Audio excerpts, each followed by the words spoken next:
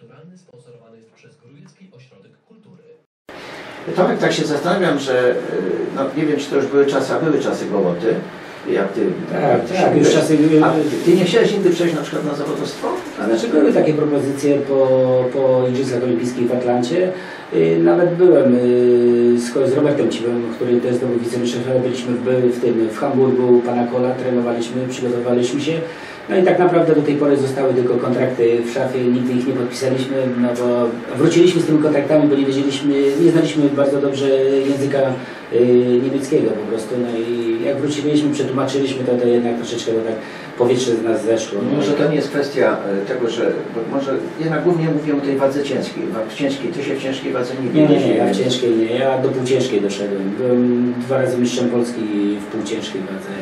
E, To taki, taka niesamowita sprawa. Czy jest kultura w boksie? Ja myślę, że jest. Nie, w ringu jest ja uważam, że naprawdę wchodzi dwóch y, tak samo wyszkolonych Tak, zawodników. no tak, jest pan sędzia, który, który dba o to tak naprawdę, no, no są, wiadomo, że są faule zamierzone, niezamierzone, no nieraz tak jest, no, zależy jacy, jacy zawodnicy boksują. To ciężko tak określić, czy jest taka typowa kultu, kultura w tym ringu, no bo Tak. jednak do tego ringu się wchodzi, trzeba bić się i trzeba wygrać po prostu. Fajnie powiedzieć, trzeba bić. No tak, trzeba się bić, więc co to ma współ... Ale nie, no można się bić kultura. O, Jan Szczepański był taki bokser. Był mistrz olimpijski, który- który tak. się absolutnie nie pozwalał. Coś No tak, był wyjątkowo dobrze wyszkolony technicznie, boksował e, ciosami prostymi, tak, on był bardzo dobry, no i po, po jakiejś tam przerwie w 72 roku zdobył mistrza olimpijskiego w Monachium. Po, dłu- po długiej przerwie, Tak. po długiej przerwie, tak, tak, tak. No to taki ewenement w boksie, naprawdę, no było kilku zawodników, e, trener Drogosz był dobrym zawodnikiem, który boksował, nie dał się tak naprawdę trafiać, no ale, ale to są bardzo, to są, takie nawyki są e, z natury po prostu, tacy się urodzili, oni refleks i, Znaczy, i szybkość to... Posiedli tę kulturę boksu. Dokładnie można tak powiedzieć. No ale był y, trener Walasek, na którym mówię dziadek, bo zawsze tak mówiliśmy, dziadek Walasek y, świętej pamięci, no to on też bardzo, bardzo kulturalny był. Przecież y, w Rzymie zdobył wicemistrza olimpijskiego, gdzie później Polonia przyznała mu złoty medal, bo, bo niestety skrzywdzili go w tej walce finałowej z y, Krokiem. Tak, bo to było, bo później jeszcze się, później jeszcze bił się chyba również z Klesiusem Klejem, dobrze ja Nie, z Krystusem Klejem Pie- pan Pietrzykowski. pan Pietrzykowski, tak, tak, tak. tak, Pan tak. boksował Zgadza w się. finale Tak, chyba tak, w finale. Igrzysk Mleśnych wtedy. E, powiedz mi e, Tomek, taka walka, która e, przeszła, przeszła, przeszła do historii. Czy to właśnie jak zrobiłeś, zrobiłeś to wicemistrzostwo świata w 95 roku, czy też, czy też jakaś inna walka pozostaje w pamięci do chwili obecnej? Jest taka jedna? To ciężko powiedzieć. Finał Mistrzostw Świata no to był jeden, jedyny, który akurat osiągnąłem, ale naprawdę to taka niepowtarzalna rzecz. No, boksowałem z Kubańczykiem, który, no, który był już mistrzem olimpijskim, wcześniej mistrzem świata, no i wchodząc do tego ringu, no wiadomo, że wszedłem, y, bo wygrywałem i byłem dobry, ale, ale niemniej już jak człowiek wejdzie do, takiego finału, to później troszeczkę tak, y, bynajmniej ja tak uważam, troszeczkę to powietrze tak schodzi, już się jest w finale, jest jest się wicemistrzem świata, już tak inaczej to, no ale ale przegrałem chyba 5-8 z Kubańczykiem, gdzie później się spotkaliśmy jeszcze dwukrotnie na Pucharze Świata. Też przegrałem jeszcze drugą, drugą walkę, a trzecią walkę w, w nad Łabą wygrałem i wygrałem cały turniej. No i później tak y, w tym boksie amatorskim światowym tak typowali nas, że będziemy w finale olimpijskim. No niestety ja nie dotarłem, on dotarł tam, wygrał, zdobył drugi tytuł mistrza olimpijskiego. Ile lat? e, Od, kiedy zacząłeś? Ja zacząłem, skończyłem szkołę tutaj w Bikówku, chodziłem do podstawówki i już tak, tak naprawdę A, czyli, to, czyli Tomasz, Tomasz Borowski jest stąd. Tak, ja, ja urodziłem się w Grójcu, mieszkałem na Woli Worowskiej. Tak, ja jestem stąd, chodziłem do szkoły do Bikówka i skończąc szkołę podstawową już tak naprawdę rok wcześniej już tak sobie zaplanowałem, że pójdę do Warszawy, pójdę na boks i, i tak, jak, tak jak zaplanowałem, tak, tak zrobiłem. No. Udało się. I udało się, no akurat mm, do szkoły chodziłem na Służewcu, na, na Rzymowskiego i bliżej, na mapie nawet wcześniej wychodziło mi, że Gwardia jest bliżej, tutaj na Racławickiej. Tak, Pojechałem tak, na tak, Racławicką, okazało się, że tutaj na Racławickiej nie ma boksu, no ale jak już, jak już dotarłem do Gwardii, to poszedłem tym torem i dojechałem do hali Mirowskiej, tam trafiłem na bardzo dobrego trenera, wychowawcę, takiego drugiego ojca mojego, trenera Wiktora Szulca, no i zaczęła się tak przygoda w 85 roku. To o tym za chwileczkę opowiemy.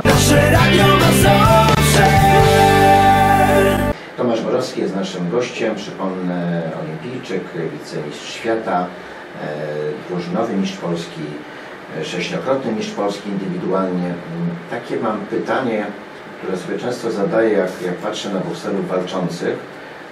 Ty wspomniałeś, że zaczynałeś karierę mając 15 lat, a, a, a ile lat trwała?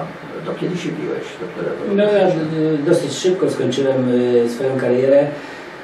Ciężko powiedzieć, czy to było spowodowane, czy walką w Atlancie, bo y, no, nie chciałbym się tutaj tłumaczyć, ale walkę w Atlancie y, ktoś y, na forach internetowych to można przeczytać, jak, jak się ona odbywała i po prostu troszeczkę podcięli mi skrzydła tą walką, bo świętej pamięci trener Kulej y, powiedział nawet, wypowiadał się tutaj w telewizji, że po prostu takie walki to powinno się odbywać korespondencyjnie, bo szkoda wysyłać y, zawodników, bo po prostu mnie tak oszukali. Boksowałem z Turkiem, naprawdę wygrywałem walkę, no a niestety komuś innemu rękę do góry podnieśli. No. Mówię, nie chciałbym się tu tłumaczyć, bo to już było dosyć dawno, no ale, ale takie były fakty po prostu. No to bardzo smutne. No i później... Ale w boksie właśnie, to wytłumacz może słuchaczom, bo bywają w boksie, nawet zawodowym czasami, no widać, że, że coś jest nie, nie tak. To w amatorskim boksie też tak było? No przecież ty jeszcze wtedy byłeś amatorem. Jak się Tak, byłeś ja cały czas amatorem No dobrze, byłem. Turkowi podnoszą rękę. Nie chcę tu wchodzić e, w, w jakieś e, dyskusje, znaczy co, czy sędziowie nie widzieli, źle widzieli. Przecież to piątka sędziów chyba wtedy Tak, oceniała. piątka sędziów, wtedy wchodziły te maszynki tak zwane, Tak, które tak, są tak, teraz, tak, które... tak. No, no, jakby one dobre były, to by były pewnie w boksie zawodowym. Boksie zawodowym nie zostały No właśnie, nie zostały nie, są, nie są zbyt dobre. Wiadomo, że przy tym siedzą ludzie też, wiesz, to, to tak czy tak, to ktoś to naciska po prostu. No, nie wiem, czym to się kieruje, bo ciężko mi mówić na ten temat, bo przykre. no przykre bardzo, bo walczyłem o medal i myślę, że ten medal bym zdobył właśnie i tam dalej, dalej mo, mogłem się spotkać w finale z Kubańczykiem, tak, jak- tak jak to prorokowali po prostu wcześniej przed, przed A igrzyskami. Tomek, powiedz, co ty teraz robisz? Czy A ja- jesteś dalej związany ze sportem? To znaczy y, staram się uczestniczyć w galach bokserskich, jeżdżę nieraz na mistrzostwa, no, staram się tutaj na terenie w Grójcu, gramy akurat w piłkę na, na Orliku, gramy dwa razy w tygodniu z kolegami. No i, a mieszkam teraz y, od 7 lat, od kiedy syn się urodził, mieszkamy tutaj w Chynowie, jesteśmy, no pracujemy. No. Wróciłeś na stare śmiecie? Tak Dokładnie tak można to tak nazwać. No, troszeczkę w drugim kierunku odjechałem, no ale tak to wszystko się kieruje. A nie chciałbyś może tutaj na terenie Grójca, nie wiem, tu gdzieś w regionie, może jakaś szkółka bokserska, co nie ma chętnych są?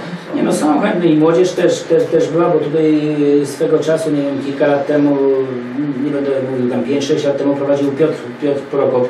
To On kiedyś w Gwardii trenował z trenerem biblijskim trochę, no i on tutaj prowadził, zaczął, no ale później przerwał, nie wiem z jakiego powodu. To trzeba by się poświęcić po prostu.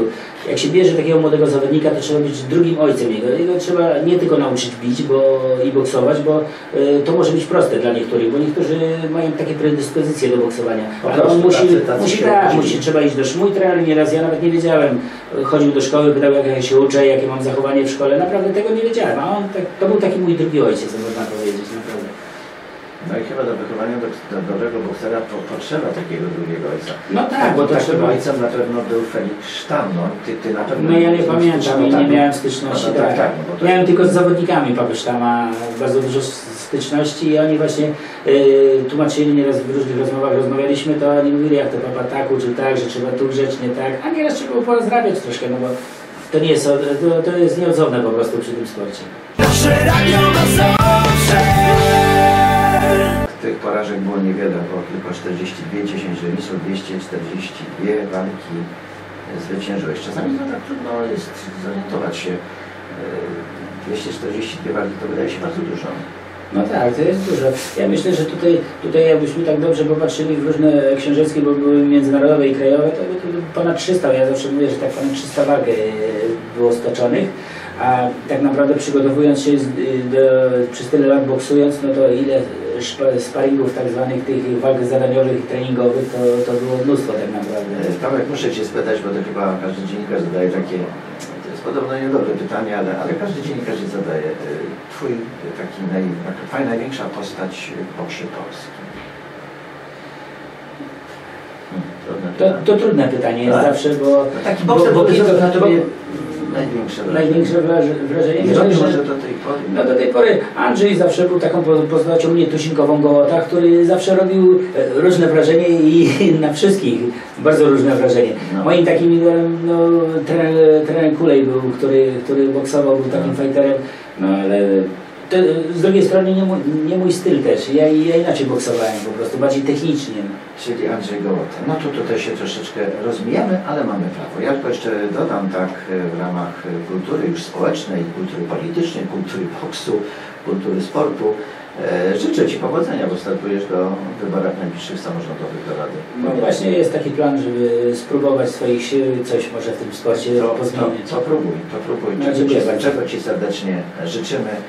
E, a ja dziękuję za wspólnie spędzony czas w magazynie bardziej kulturalnym i zapraszam za tydzień. Nasze radio zawsze.